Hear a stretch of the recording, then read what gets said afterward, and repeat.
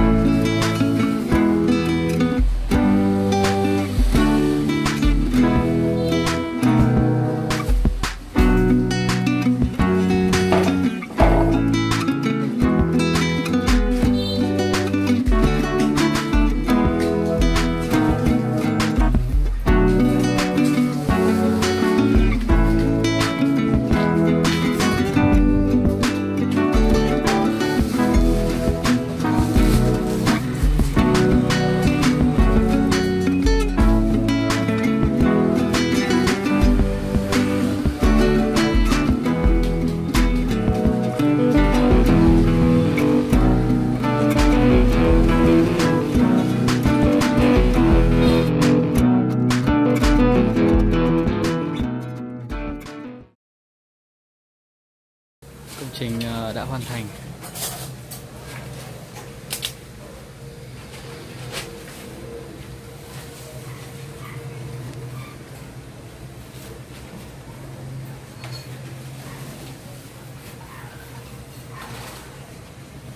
Chân ờ, được sửa lại.